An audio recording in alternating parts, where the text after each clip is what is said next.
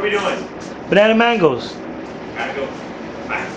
May 25th, I'm Peter Leiferman here in Fresh King's Mango Cooler.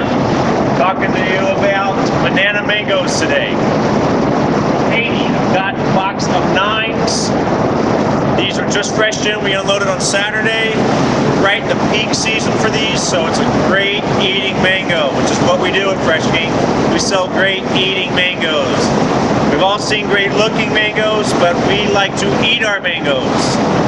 For instance, we have this mango right here that says, Eat Me Mango. Another one that says, Yummy.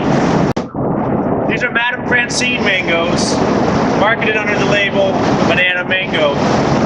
They're available for another month until about the end of June, early July. Should be winding up right around July 4th. And they come in, this is a typical 9 count. We have 10s, 8s, and 12s.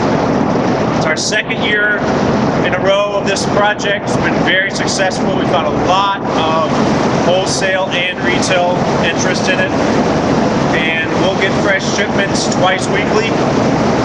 So whether you're loading early week or late week, you know you're getting the freshest Haitian mangoes out there. Man, Ricky, I wish we had aroma vision. Because if we did, you guys could smell what I'm smelling right now. And it smells like delicious fruity mangoes. The aroma of these banana mangoes wafts everywhere. And it's sure to drive the sales right into your produce department. So that's it for me here in the mango cooler. I gotta go back to work. See you next time.